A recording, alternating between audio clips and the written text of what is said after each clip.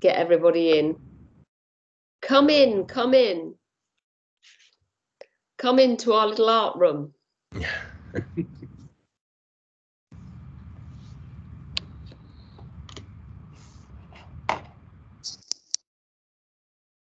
Well, I'll, I'll, I'll just start and then as I'm talking, hopefully more people will join us. But as I say, it's going to be recorded.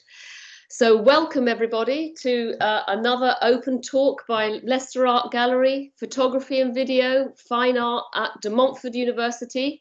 I'm Professor Lala Meredith Vula, and today we've got a really special uh, program uh, where we've got three complete international artists and experts, curators, and um, who are going to share their work. We've got Jeff Thomas there, who's um, in on he's in Ottawa at the moment. Uh, it's morning in the Ottawa, and he's had his morning breakfast, so that's good.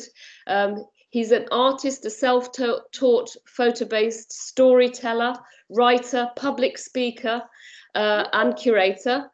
And we then we have Patrick Mahon, who's in London, Canada, um, and um, he's also just had his breakfast live from London, Canada, and he's a professor of visual arts at the Western University in London, Canada, uh, and also a writer, artist, curator, um, international exhibiting as well. And then we have Mark Kasumovic, who's in Leicester, um, actually at De Montfort as we speak. I, I know that Anglepoise lamp in the corner there.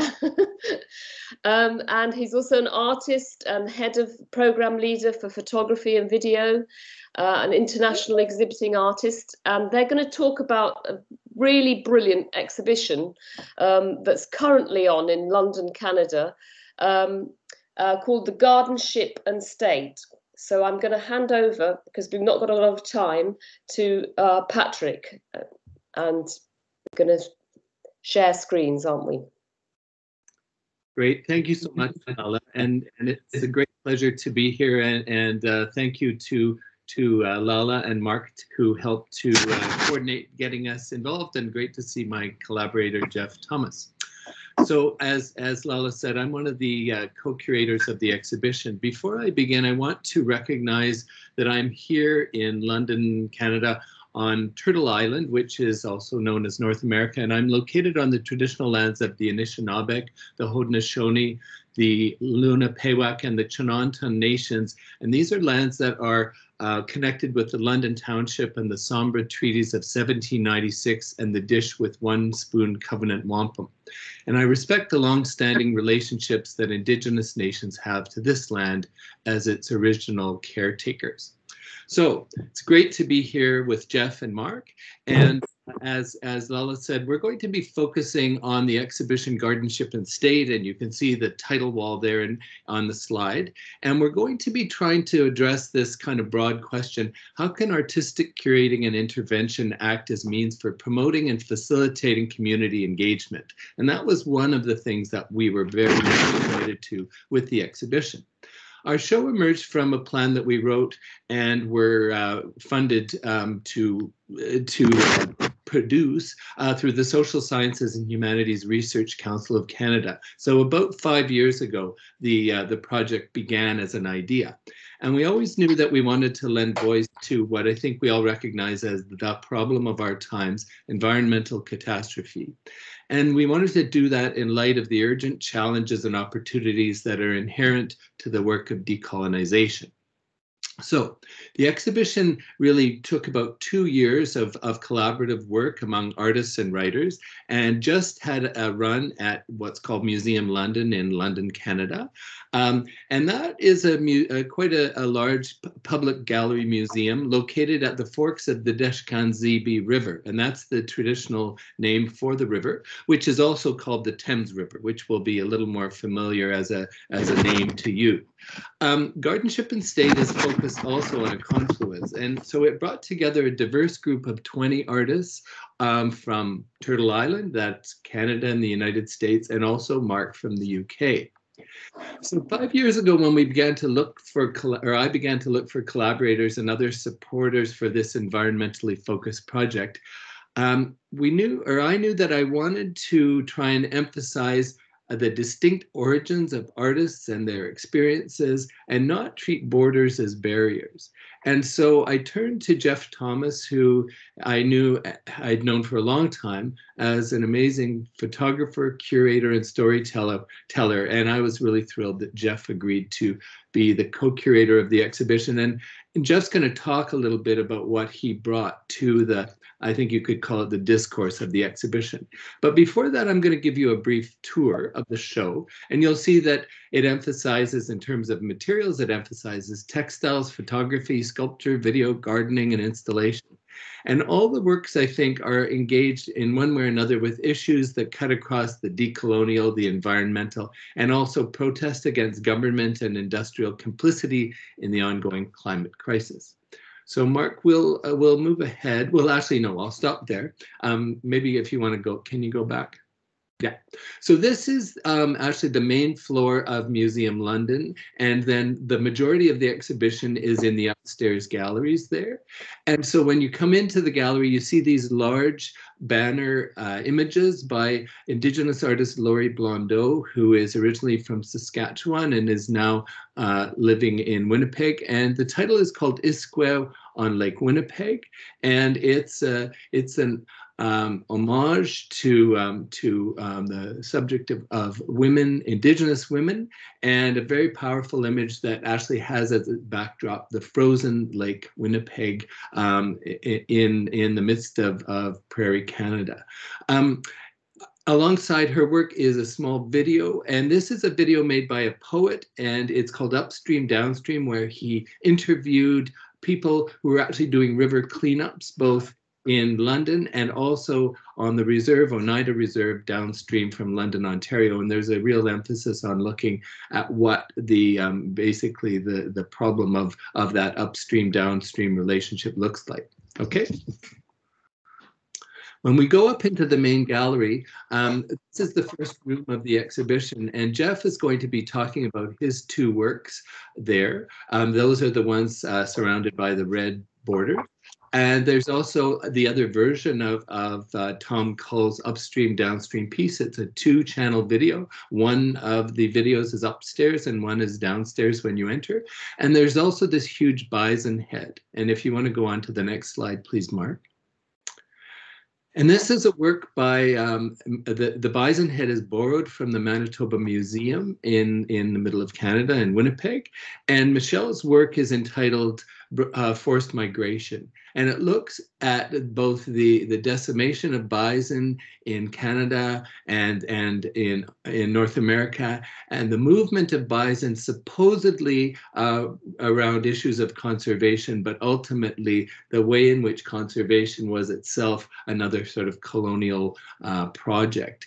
And when you go up to the what is an embroidered map and you touch the map, there are actually um, sound stories that that are activated. So we'll go on. Um, at the Manitoba Museum, and and it was a little bit of a focal point in as much as it's in another city. A number of us had connections there. Uh, the curator Amelia Fay is the curator of, of what's called the Hudson Bay Company Collection, and as many of you would know, Hudson Bay Company was a colonial, uh, you know, organization that had a lot to do with with the early so-called colonization of Canada, and so the Hudson Bay Company is a huge collection of artifacts that include um, objects and and and um, crafts and other other materials uh, made by indigenous peoples um, it, through uh, generations. Um, the, uh, one of the major problems, besides the many problems with museums, is that there's no names on these on these works. These particular moccasins, which Amelia Fay brought to Museum London, really have just the name of the the settler who actually purchased them. So Amelia, as a curator, has done these small embroideries and they really are, the title of her work is called Curating Colonialism. So she's really asking questions about her own practice. The next one. Um, so then we move into the, the larger areas of, of the museum. And these are works by Sharmistha Kar. The, there's the tent structure in the center of the gallery, and there's also um, that tarpaulin uh, with, a, with a tent um, figure um, embroidered onto it. And um, these works are called Soft Shelter and Home and Land Walking Together. And Sharmistha, who uh, is uh, an artist from India who lives in Canada, is really looking at migration and, and forms of, of temporary lodging. Um, and then the work on the right hand side is actually mine, and I'll be talking about that a little bit later. Next one. And now we have an installation shot of many other works in the exhibition. Um, in front of you is uh, is a mosaic uh, by Jamelie Hassan, and uh, and the mosaic is entitled Gizzard Shad. It looks at the influx of fish into the Deshkan Ziibi River in an unlikely way that was a kind of representation of of um, of changes due to climate. There's a work on the wall above a chair, and that's uh, that's by Andres Villar, and uh, that's called Birdsong. And then there's the work of, of Mark Kasumovic in the background there, the photographs, and Mark is going to be talking about that. Also, there's a library piece by Mary Mattingly from the United States, which is called Ecotopian Library. And then on the right-hand side, another um, another mosaic by Jamelie Hassan, which is based on one of the protest signs of Greta Thunberg. So we'll move on. Now we have um, uh, several other pieces in the exhibition. In the distance, we have a work by Michael Farnan, and I actually have a better slide of it, so so I'll, I'll mention that work after. And then in uh, to the right of that is a series of sculptural works by Sean Caulfield from Alberta, and this is called Power Lines. And Sean, these are almost like toy-like works that are sculptures, and Sean is looking the, at the way that that attitudes towards energy are um, ultimately inculcated through children teaching and um, it's it's both playful and and somewhat disturbing work okay next one please so there's Michael Farnan's map, and the map has quite a long, wonderful title. It's, it's called The Map Depicting the Settlement History of the Land, Plants, Animals, People, and Water Between Here and There, here being where I am and there being where you are, a work in progress. And so Michael is really looking at, at a history of colonization, and at the same time, um, it's he himself uh, lives in a Métis community in, in up north of, of London, Ontario. So looking at the, the sort of disruptions of colonialization and and all the sort of intended um, effects on, on communities in the region and throughout Canada. And on the right-hand side, another, uh, you can see actually one of Mark's photographs peeking uh, beyond, and then there is uh, one of Lori Blondeau's smaller photos. Uh, next one, please. And this is a wonderful work by Adrian Stimson, who is an Indigenous artist from Siksika Nation in Alberta. And um, in, in the Siksika language, and I hope I do okay with this, it's Namoy Stututsin, uh, Bumblebee Regalia. And um, Adrian has looked at the history of what was called the, the, um, the, the Bumblebee Society, which was a teaching society for um, children to learn the protocols of the teepee and the protocols of the society. And Adrian has been interested in the possibility of, of being involved in, in helping to, to see the, this society reinstated. Next one. This is another, actually another work by, by Michael Farnan. It's uh, called uh, Meditation on a Repetitive Stress Injury, uh, Stress Injury to the, the planet. Um, and so that's a video. And then in the distance is a work by Ashley Snook called The Honey is Sweet. And it's looking at invasive species, a particular invasive species um, which uh, was actually sort of brought into our region uh, in the, the 19th century, I believe from Australia. Next one. This is a mammoth piece by Ron Benner, who's an important London Ontario artist. Uh, it's called As the Crow Flies, and it's looking at the movement of, of food and culture and at the presence of indigenous peoples on the lines of longitude between or that run south from Toronto, Canada and London, Canada, um, all the way to the bottom of South America. And the work is based on eight trips that Ron made. It's about a 30 year old work now. And you can see that there's all kinds of found artifacts um, and texts that um, really sort of uh, really underpin this amazing work. Okay. And these are two works by Quinn Smallboy, who is an Indigenous artist from Moose Factory, Ontario. They're both entitled Drum Ring. Um, the one, the large one, which is is 10 feet in diameter, um, is just called Colors. And um, actually, I'm sorry, the one on the left, which is smaller, it's it's four feet in diameter. It's called Colors, and the other is called Lines. And these um, were made by Quinn in the gallery, especially the large one, strung and wrapped with with uh, string, which is is his main material for these spectacular works. Next one. And this is another view of, of Quinn's work and also a work by uh, Paul Chartrand. It's uh, it's uh, the the one called that has the text "All flesh is grass" is called desiccated root text, and it's actually a grown plant-based text that is in, embedded behind glass.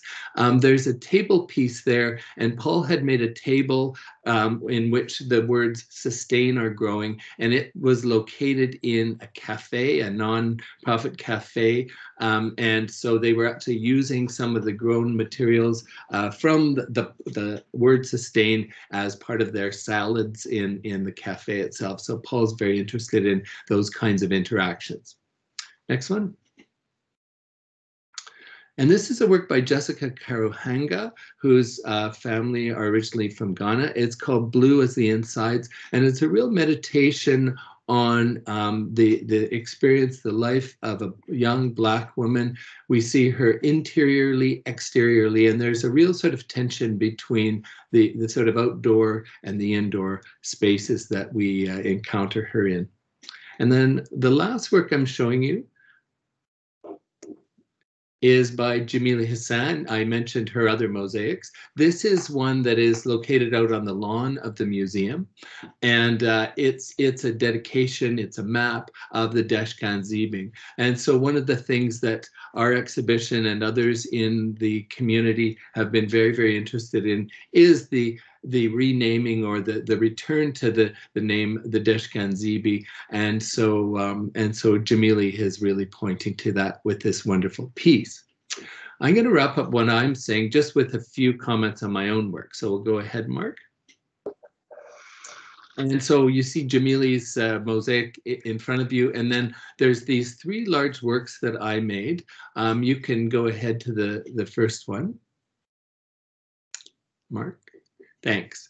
So this is um, I, my background is is printmaking, and I'm really interested in signs and emblems and markers of place, both for ceremonial and ritual purposes. And so, in thinking about um, land and colonialism, I was really interested in the kinds of symbols that we we often encounter in relation to some of the the um, the challenges and and and the opportunities that that some of these sites actually remind us of. So I was fortunate that Jeff Thomas lent me his photograph, which is um, of the Caledonia protest site in 2008. And so in the image, and if you want to go to the um, to the detail, you'll see that there are flags and then there are signs and the other things that that were placed at this at this site of of protest. And the way the work is made is it's actually carved into mat board. And i was really interested in making images. The series is called threshold flags. I was interested in making images that suggest that we're at a moment of transition of change and transformation and at the same time, you know, I'm asking the viewer to kind of look hard and to, in a sense, put these images together with their own eyes. So if you want to go into the next one, please, Mark. This one is is called HBC Flag on the Nonsuch, and, and that was a replica ship um, that is in the Manitoba Museum. And then I overlaid it with the uh, the um, a nautical flag pattern, which is supposed to refer to desire to communicate. I I don't think, or there is actually a detail of this one as well, please. And you can see that, so the, the actual drawing is carved in and, and it's incised or it's inlaid with, with these kind of glittery paints. And then there's this dot pattern that's over, overlaid.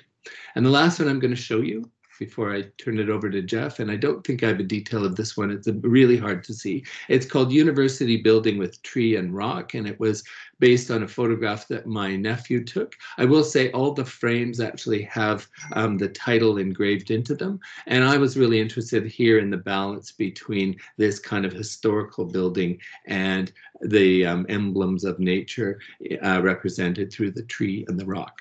So I will leave it at that and uh, turn it over to Jeff. Thank you. Thanks, Patrick. And um, I think um, where I'll begin is to talk about um, my role as the uh, co-curator in the exhibition and what I brought um, to the conversations that were taking place in regards to the um, the theme of the exhibition and uh, finding a way to uh, bridge gaps that have been culturally um, entrenched in Canada for hundreds of years in terms of um, the uh, subjugation of indigenous people um, on Turtle Island.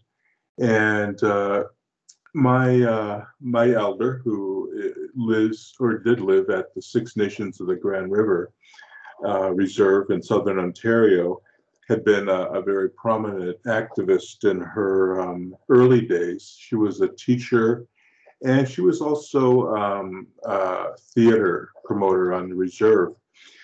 excuse me. And um, and so when I work in the arts, I believe that um, I do it out of a necessity to social social change, and it came from my elder uh, Emily General in terms of uh, instilling in me when I was a teenager and asking questions about uh, my hybridity, which was the fact that I was born and raised in the city of Buffalo, New York. And throughout my early life, I had been trying to find a way to balance the two. And if there was a balance, uh, could it be made? And so I looked at the arts as, uh, as a place where I could um, find and develop some sort of uh, agency in terms of uh, its relevance to the political issues that are going on and have been going on uh, and will be going on into the future um, in Canada and the United States. So um, the battling that history of kind of uh, isolation, which is um, when uh, Indigenous people were put on reserves in Canada, the idea was to put them um, out of sight, out of mind. And so I think that the really the um, the issues that are faced is how do we how do we integrate ourselves into uh, mainstream society without losing touch of uh, of our I'd like to say our Indianness and uh, what brought us to this point. So coming into this project, uh, Patrick had um, had as he said uh, extended an invitation to me and he had um, selected a number of artists that he wanted to work with. And a lot of them were a lot of the artists his work that i was unfamiliar with. And, and so i had to find my way into the exhibition. And what i decided that i wanted to do was to work with uh, what's called the two-row wampum treaty which you see an example hanging up in above the walls above the temporary wall here which is basically it's a, a belt made of uh, purple and white beads.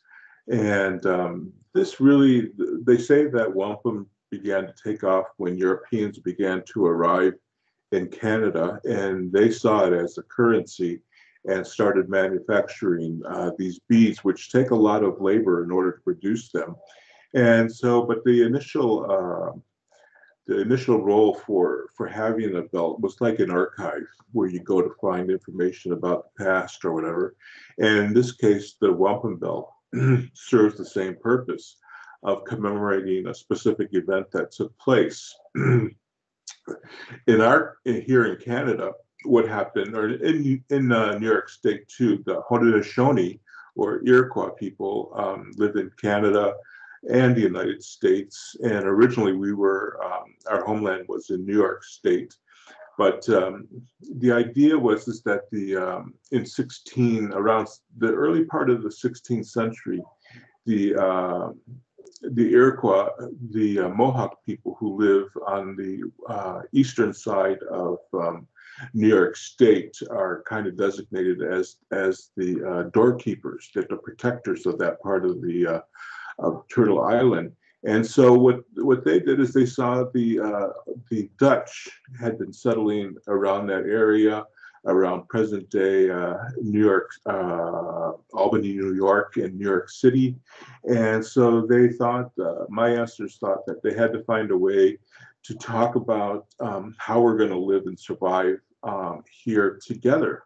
And so this is where they came up with the Two Row Wampum, which is essentially uh, representing uh, two boats traveling down the river um, side by side, and in effect, um, respecting each other uh, and not interfering with each other's um, culture, history, and uh, future.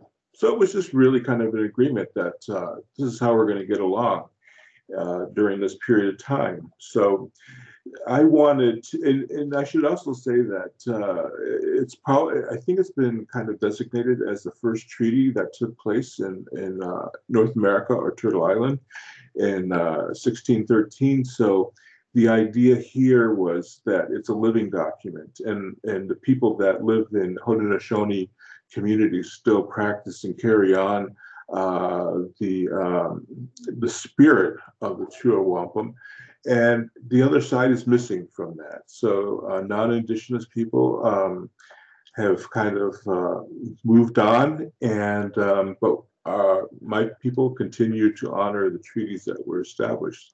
So with that in mind, I decided that I wanted to bring it into Gardenship and state because we were dealing, or not dealing, but we had, um, you know, different artists from different parts of the world, different cultures.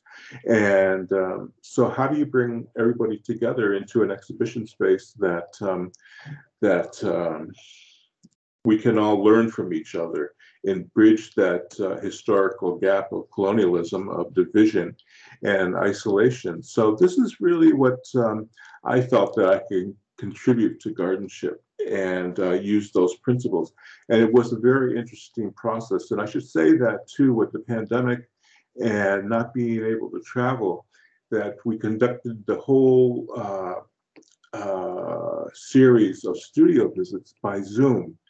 And there was something uh, that was very uh, that was remarkable about the about the process because um, we found that from from group meetings with with artists and writers to uh, select studio visits with artists that uh, there was kind of an intimacy that that came from uh, from this process of zoom.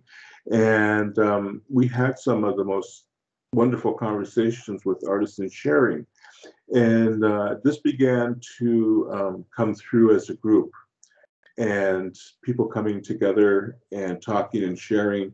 And so we began to find a lot of uh, commonalities and things that are shared. So I collaborated with uh, uh, with two artists, well, actually with three artists in the exhibition, including Patrick, using uh, several of my photographs.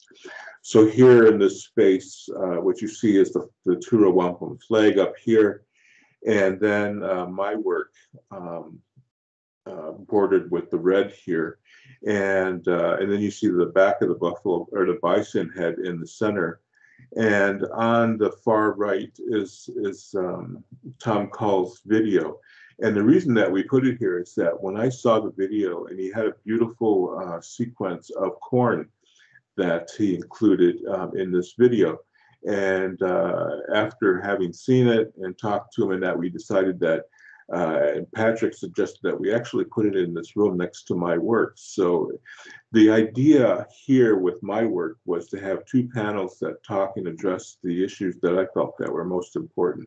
I think we can go to the next slide. There should be, a, yeah, there's the detail. And um, this piece is really based on, on the idea of, um, of treaties. So we here on the far right, you see a painted portrait of the uh, renowned Mohawk leader Joseph Brant. And um, he's the reason that we actually ended up in Canada because uh, uh, half of the Confederacy of the Haudenosaunee sided with the British, the other half remained neutral or sided with the Americans. And here the uh, Joseph Brant, because of his relationship with the British, uh, was given special land after the Revolutionary War along the Grand River.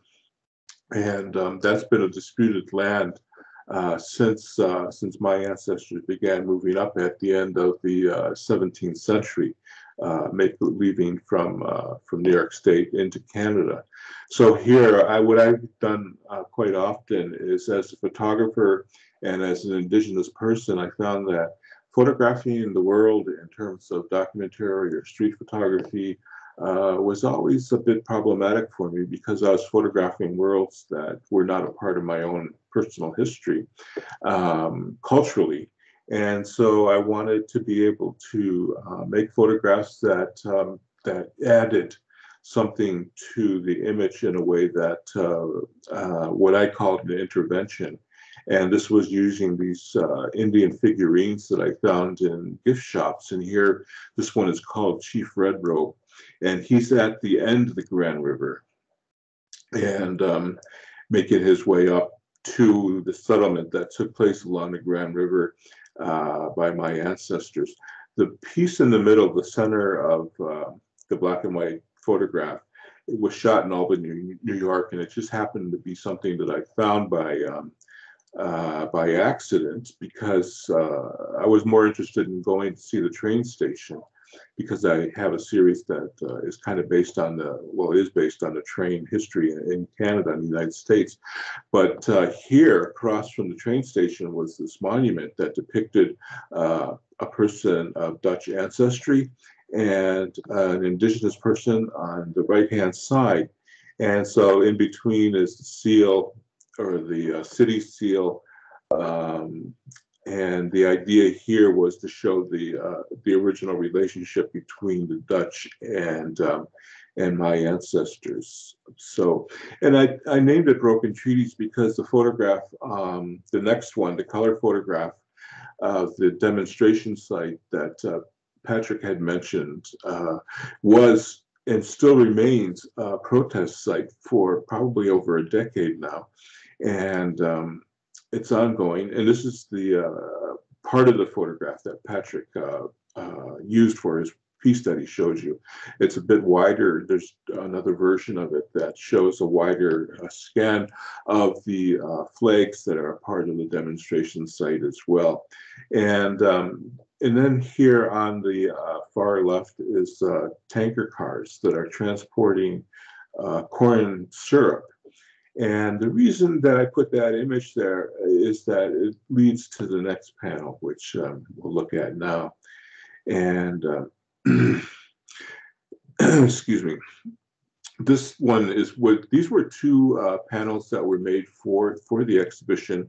This one is called "Corn Equals Life," and the reason for this one is is that the, is the role that corn played in the development of more advanced uh, societies uh, uh, Tur at Turtle Island before Europeans arrived. And very few people know that, uh, like with the Aztecs and the Mayans had their uh, their temple mounds and things like that. Up here in the upper part of Turtle Island, we also had mounds that were that were made, but they were made from earth. And uh, this one was particularly around St. Louis, Missouri, around uh, the year 700 that they started building these enormous mounds. And they had actually at that time populations around that area, around what was called Cahokia, uh, that were larger than uh, the cities in uh, like London at the, at the, same time. So here uh, they had thousands and thousands of people that were there. And the reason that that emerged was because of the role and development of corn.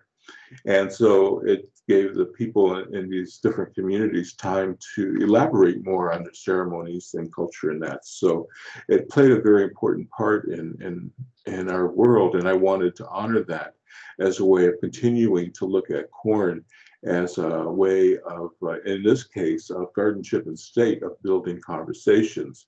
So here, these panels are really kind of following the footsteps of the wampum belt.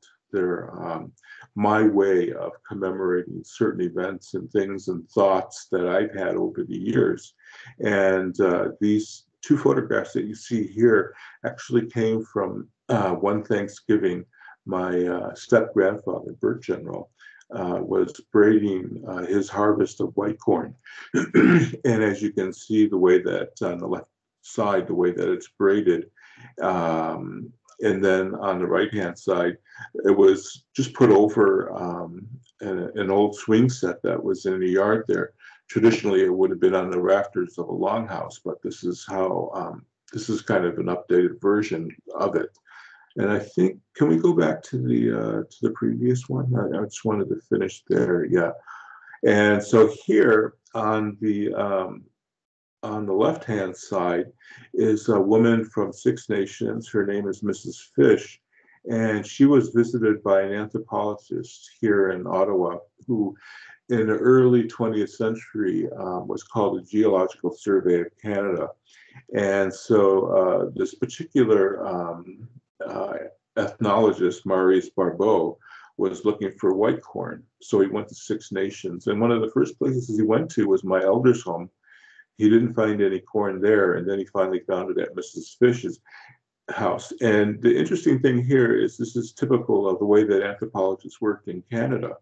Um, they were documenting uh, their field work, in fact, and they weren't setting up photographs that um, that highlighted uh, the ceremonial uh, kind of uh, events and things like that. These were shots of everyday people, so they were quite remarkable and are now housed at the Canadian Museum of History. So this is entry into the wampum belt, and uh, and then you go through the photographs here, and then the final one on the far right hand side is a photograph made by Edward S. Curtis. Uh, this was um, in the American uh, Northwest that he made this photograph around, I believe, 1908 or 1910. And Curtis has been a typical figure that's been looked at uh, and highlighted because of his romantic depictions of indigenous culture. And in fact, an indigenous culture that had already vanished in terms of losing its tribal identity. And but he recreated that um, and uh, had people uh, pose for him in these communities. And this is a, baby in a cradle board. And I wanted to show this as uh, taking a, a, typical photograph of indigenous people here with Curtis and repurposing it to address life. And then, uh, of course, with the other uh, type of photograph that was made by Marius Barbeau, so there's a lot of information that's encapsulated in here. And one of the things about the wampum belt is that um, we have a keeper of the wampum belts. And the keeper um, is designated with uh, remembering the stories that go along with the wampum belts and can recite them all as well. So this is really uh, what my work has determined to do as well is to be able to tell a story. So uh can we move on uh, to, the, I think it'll be the one after this. Yes. Now, uh, one of the things that uh, that came out of um, out of the planning for the exhibition, and what I really give uh, Patrick, uh, among other things, a lot of credit for, is that uh, he gave me space to work in the ex- in the museum that I maybe normally wouldn't have taken. I don't really consider myself an installation uh, based artist, but for this one, I decided that I'm going to move in a different direction. And the story behind this one is, is that if you remember looking at Ron Benner's work, um, Ron and I met many years ago and became friends. And um, he's done a lot of work with uh, plants and uh, rare seeds and uh, gardens. And so outside the window here is that Ron had one of his uh, gardens uh, out there. And originally, before COVID uh, really took over everything, we were hoping that the exhibition would coincide or we could have an event with Ron's garden down there because he has a corn roast every fall. And uh, but it wasn't going to happen uh, in 2021. So but anyways, I, I began to rethink uh, what I wanted to do, and because um, uh, uh, London is located on the confluence of the other rivers there, is that I wanted to use it and think about its historical use by indigenous people as a meeting ground and coming together. And um, so here, the chair represents the, uh, the elder, the past, the idea of waiting for the delegates to arrive and, um, and to greet them. So the photographs on the left-hand side, it shows uh, the kind of environmental take that began in 1973 uh, in the United States in the use of Iron Eyes Cody, the, the crying Indian, who in fact was not a crying Indian. And because this was my first exhibition uh, looking at environmental issues, I wanted to use my childhood memory of that of that poster, which I found on eBay, and juxtaposed it with the photograph of uh, Chief Red Robe in um, in Ottawa uh, with Parliament Hill in the background. And then the corn tankers that corn syrup tankers that I had photographed in London several years ago are down here as well. On the right hand side is uh, shows my step grandfather in the center in the black and white photograph. And then Ron had sent me a box filled with uh, produce that he had grown in his uh, garden. And so I rephotographed these here in my studio holding the corn because I was looking at corn as kind of a symbol of, of, uh, of uh, of greeting, but also of telling about where you come from in terms of uh, of uh, the importance of corn. And then down at the bottom is a little hard to see, but it's called I call it the ghost chair, and it was a chair that I photographed just outside my elder's home.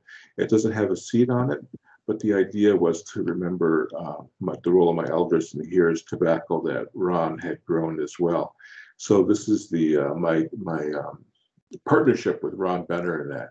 So I'm not quite sure. I think I might have gone over time here. Um, so I think I'll probably um, slow down here a bit and and uh, just say that um, this was um, this is uh, was really a, a, remarkable exhibition. I think in terms of looking at it now that um, that it's coming down is is just how important the journey was. And I think in terms of community, we were able to develop um, a sense of community with the artists, the writers in the exhibition. And of course, Patrick and I, who have known each other for a number of years, were able to find a way to, um, to coexist as co-curators for the exhibition and come away with something that we're very proud of and um, and continue will continue to uh, work with the publication on, on the for the exhibition as well and I think that might be good for me. So I don't want to pass it on. That's great, and and thank you both. It's it's wonderful to hear your perspectives again about the exhibition. Um, I'm just going to present as quickly as possible a few of the the the things that I produced for the exhibition. Uh, being mindful to leave a little bit of time. Hopefully, there's some questions that are interesting to people. Um, but for me, this photograph in particular stood out as, you know, the one, the one that if I could only choose one photograph for this exhibition, this is, this is it for me. And I think I was really, really excited when I took this photograph because this is a, this is taken on, and most, all of these photographs are taken on conservation ground. And when I first moved to the UK, I was really interested in um, the area I moved to, uh, having grown up in a place called Hamilton, Ontario, which is adjacent to Toronto. and just identifying, you know, with that city being a, a, steel town or very, very much an industrial part of Canada or the heart of, of what, you know, we would consider the industrial heart of that region in particular for sure. And then moving to a place called Middlesbrough, which is very near uh, another place called Stockton and, and the Seal Sands. And this area is kind of familiar to people in the north as as the place where the apocalyptic Blade Runner kind of opening scene was was shot, and I, I kind of that really resonated with me that this decades old film identified this area that I'm now living in as the the apocalyptic area um, or representation, you know, of of you know perhaps society collapsing, maybe due to industrialization or or whatever happens. But I really loved this particular photograph because it's on a conservation ground um, and it's a bird watching hut. But what was really fascinating to me is that you're surrounded by heavy industry in this bird watching hut. So this hut that you know, I'm sure lots of wonderful birds come and visit this area, but for me, it became this kind of symbol for a place to watch the world slowly, you know, maybe exhaust itself possibly, or just a place to have conversations and just think about um, you know the current state of maybe an environmental crisis or a climate crisis or, or, or something like that. So it's not just a bird watching hut but it's kind of like a human watching hut for me. It was really hard to find another photograph like this. Uh, that was my original intention. When i got this photograph i was thinking okay hopefully others like this exist but you know this is a pretty special spot for me uh, but coming from a project that was very much interested in working with scientists and looking at how science represents the world and how artists represent the world and how sometimes some of the methodologies we use are remarkably similar, they just have different outputs. Um, and that mentality of thinking about, you know, the kind of the way we represent the world, I, I became interested in the, the quiet representation of perhaps, you know, the subtle representation of things collapsing or falling apart and the kind of beauty in that inherently that we're drawn to but also um, hinting at you know just a, a, slow decay. And we and, and and living at, on the coast at that time it, it became apparent that there are coastal communities that you know there is a visible uh, ramifications to certain things that humans are doing. Um, and, and they are often very subtle and a lot of what we think about when we think about how do we represent things that are very difficult to represent in images like climate change and like the kind of science that backs up some of the, the the the, information that we're getting about what's happening on the planet it is hard to represent these things. So the pictures for me are often they have to be subtle. In order to be interesting they also have to be romantic. So this kind of romantic beauty um, you know, of the land falling, uh, of the sea levels rising, perhaps, and and you know, the land falling back into the sea. And for me, uh, I guess as long as you know, I've been thinking about this, and even as a child, I was, you know, thinking about um, the fact that you know humans are perhaps we may become extinct, but you know something tells me that you know the planet will will will will move on beyond us. This kind of romantic feeling that you know it doesn't matter, everything's going to be okay, even if everything goes to heck. Um, but for me, it was really about just walking around and also observing the landscape and also finding these subtle clues of you know strange um, occurrences. So things like this kind of oddly glistening substance producing these beautiful patterns as you look down on the ground to the kind of uh, the beauty that still remains uh, in these sand dunes. Uh, you know, walking, even though you're surrounded by heavy industry, this kind of strange place in particular, uh, where where we are walking on conservation grounds that are also, you know, surrounded by things that are probably making it hard to conserve some of these landscapes.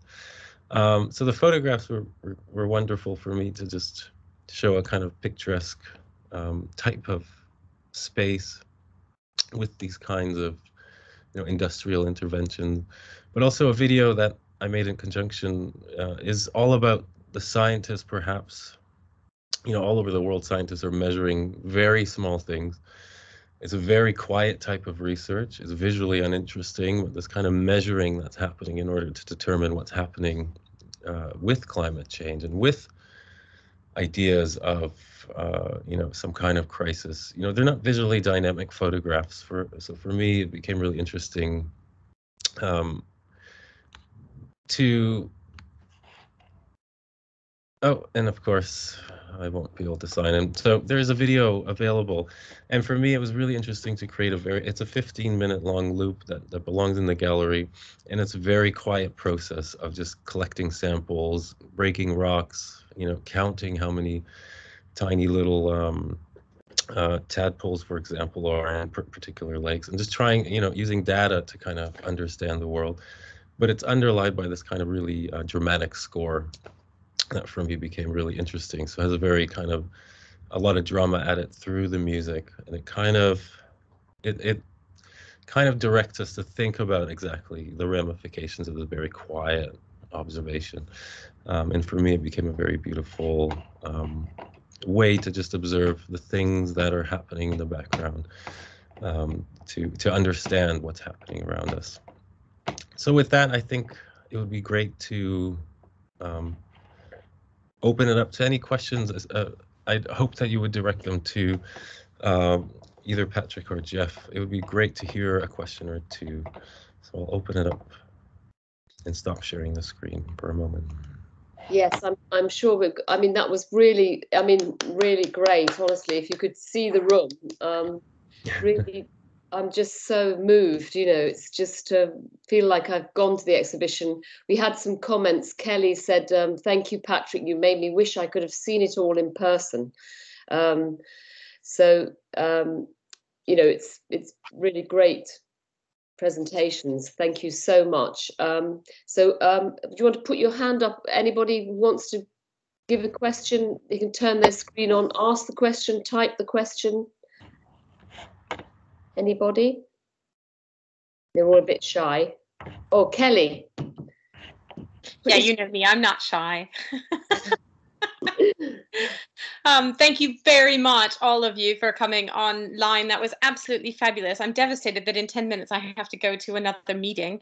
Um, but I wanted to ask Jeff, um, uh, mostly Jeff, but a little Patrick, a little bit. Could you talk a little bit more about um, your collaboration and how you how you start a collaboration and especially because you said this this zoom experience was such a new one and i was curious you said it was quite intimate and i was curious what you felt like you gained in that intimate collaboration space that we were able to create sometimes online i was quite curious to hear more about that if you could.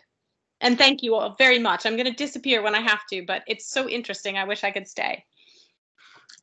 Yeah, I think uh, uh, I think with with Patrick and I, we had actually been on a, a, arts grants jury together, and I remember being so impressed that he could remember all of these things, and uh, and and give back all this information without looking at anything. and then I'm the complete opposite. I kind of uh, I kind of dream off and get lost in in another space in that. So when I when we when Patrick approached me about taking on this project, I thought we probably be a pretty good match for each other in terms of um, personalities and that. So it began from a good place uh, in regards to that. And I, and I think that what was really interesting about the Zoom is that um, I, you know, it, you kind of feel like it's impersonal in a way, but then when you start talking and sharing information, you quickly find that it's not, that it's actually quite personal and you don't feel uh, defensive um, because you're not you know directly you know in each other's space.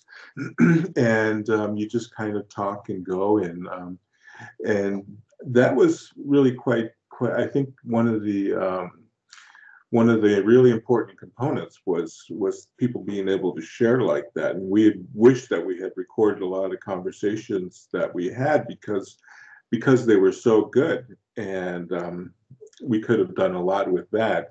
But that was the idea with uh, with Zoom, and I was really surprised um, at how well it worked, and um, and the importance that it had for both of us in terms of uh, being able to not only for us to work together, but how all, the artists I think and to embrace um, our personalities as well.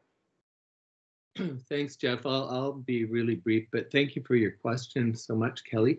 Um, you know, I remember very vividly when Jeff and I were on this Ontario Arts Council grant uh, jury, and and in fact there had been a there had been a work where there was a, a reference to the uh, two row wampum, and I remember Jeff, and this is like 20 years ago, but I remember Jeff's kind of discussion of that and, you know, so over the years we saw each other, but I wasn't even really thinking about that, you know, about the two row wampum specifically when I asked Jeff if he would be willing to uh, co-curate this. In fact, I had already approached a whole range of artists who were willing to be part of the project, and Jeff was one. But it was clear that I couldn't, not only couldn't do this myself, but that the work really required there to be a collaboration around decolonization and around, um, you know, some of the the issues that that Jeff and and Mark have raised so substantially. I guess the last thing I would say is that you know, where I certainly teach on Zoom, and there's a way in which it becomes kind of very institutionalized. But somehow, working with artists, you know, there was a way in which one studio visit, getting on a plane to make one studio visit was nothing compared to having many conversations, you know, with people, and they can't show you very much, but somehow the intimacy of that was really, really a gift, and and so worked well with the artists, and certainly well for Jeff and I, who I used to think maybe he's getting sick of me, but we we've managed to hang in there, and and, uh, and, and it's been pretty good. So thank you. Oh, that's great. Thank you. Um, and we've got Kirsty for the next question.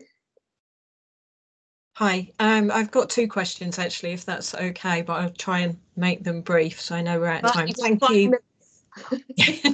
um, yeah. Thank you for presenting as well and after breakfast and all of that. But um, I found it really, really interesting. But a couple of questions that I kind of wrestle with myself. You're doing a lot of work around the environment and the environmental impact that we're having. How do you balance that with all the kind of technology and environmental damage of an exhibition of traveling of of planes of printing of you know how do you manage that morally? And then the second question patrick was for you really. You talked about a moment of transformation and i was just wondering if you could just kind of explain that a little bit more. Uh, so maybe i'll i'll just sort of respond um, fairly quickly to both yeah, I think the question about uh, so-called sustainability and art exhibitions is huge. And in fact, one of my colleagues, also named Kirsty, Kirsty Robertson, has just started at our university the Center for Sustainable Curating, and it's it is all about looking at this very seriously. So one of the artists in the exhibition, Michelle Wilson, it was actually is actually doing kind of analysis of the exhibition around its footprint and I do think that um, there are ways in which, as I look at the wonders of this show, uh, there's certain things that I think we weren't able to do, which is a good thing, i.e., get on planes very much. Um, but there's no question. There's there's um, there's all kinds of consumption, and I think that it's. Um, I'm not really able to answer the question other than to say it's absolutely um, it's absolutely uh, significant. And a lot of the work by the artist was involving recycled materials, but that sounds a little bit uh, a bit pat. Um, when I talk about transformation, I I'm interested in these kind of moment in the sort of moment we're at where there's so much changing, and so my you know as I said in a conversation yesterday, my curating I think is really about asking questions, and my work is really about asking are we actually participating in the kind of transformation that seems possible uh, at this stage? I mean, not in in maybe optimistic terms. Um, in indeed, in the way Mark Mark uh, was referring to the situation we're in, but you know, I do think that we're in a time where where we not only need to be engaged in transformation around the environment, but that needs to be synonymous with decolonization. And that was the whole kind of point of this. So that sounds a little bit like rhetoric, but um, that's my best shot at it. Jeff, anything you want to add? Yeah, I've been thinking about that, and I think you know what I find. I think from from my perspective is is that as an Indigenous person and as an activist, is that um, I think that uh, using Zoom certainly cut back a lot on that carbon footprint, and that's good. But I also think that given the amount of waste that's going on in the world, if we can contribute a bit of thought. Um, to to the issues that that we're facing because you know as mark had said and, and what i've said before too is that you know the um, we're not killing the planet we're killing ourselves and at some point or another we have to take uh, responsibility for that um, and not wait until there's no answer. Um, and um, we're looking at the end. Well the idea for this exhibition i think given all the kind of things that are going on around the world and that that this was an opportunity to um, to begin to talk about how we're going to work together. And i thought that that was far more important um, than um, some of the other issues that um, well let's say that well this is a museum this is typical uh, kind of art space to exhibit in and that and it carries its own issues i think with myself as well. And um, and um, I wanted, uh, so this was an opportunity to um, to take that, uh, take the museum and take the environment, take the population of London, Ontario, and the people that will see it and hear our voices and say that, um, yeah, we need to really start thinking about this in a serious way. So those are the people that I was hoping that we would have an impact on.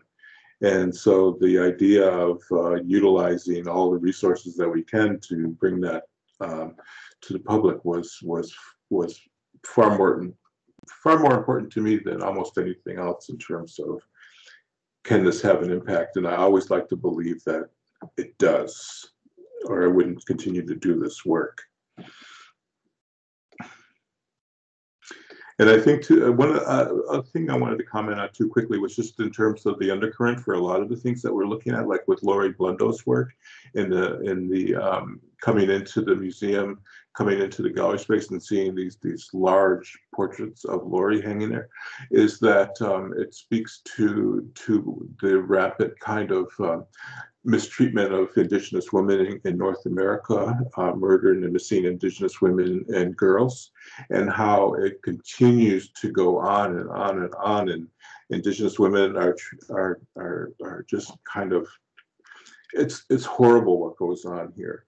And so with Lori's uh, photographs there in the beginning, it's, you know, people come in with perceptions of things that they've heard on the news and things like that, murdered indigenous women and that.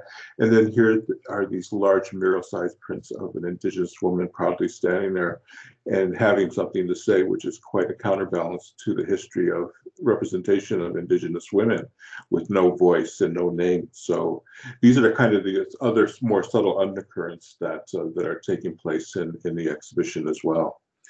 But just like looking, uh, I'll say, you know, like with Mark as well, uh, talking to him and going over his work in that, and you immediately find that kind of common ground and and a willingness to work, which is kind of like the subtleties of of uh, of uh, what's transpired through this exhibition, and it's transformed me too. You know, it's given me a lot of hope that all the things that I've been thinking about over the decades and wanting to try to do um, can actually happen. It took a long time, but they can happen. So, you know, these are all the important points that uh, keep in mind for this project as well. Oh, that's really good. Thank you so much. We've had a few comments. I don't know if you've seen in the comment boxes. Um, Kelly says, Jeff, I grew up just a mile or two away from Can and I was delighted to learn more about the treaty and your work. Thank you all very much.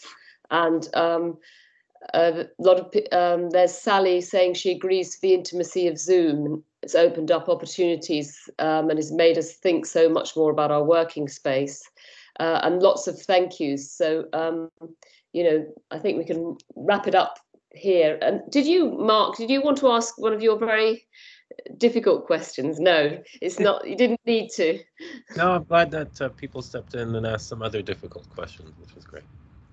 Well, no, it's just all it's just a uh, we only just scraped the surface didn't we? We could have done another four hours i think. So we need to have um, definitely invite you both back you know um, we've just started a really interesting conversation. Um, so thank you all very much for coming. Um, much, Lala. I just wanted to say thank you for the really gracious uh, welcome and, and embrace of our, our work and our project. And thank you to Mark for, for making the initial connection. It's a real Yeah. privilege for us. So Thank you. You should have come to Leicester. We would have really, you know, you could have a gorgeous Asian meal from our down our Asian mile, and yeah. Next time, you've got to come to Leicester and really see how we welcome people. Well, next time for sure. Cool. Okay, thank you so much. Thanks, everybody. So you can you can stop recording, and thank you, Nisa, for um, the gallery technician for recording.